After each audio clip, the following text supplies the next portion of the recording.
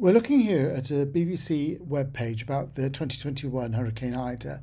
Um, you can see num- numeric information on the page has been highlighted.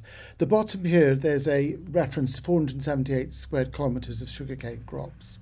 If I hover, hover over that, uh, TSOW shows this in terms of the Isle of Wight and shows a dynamic graphic as well.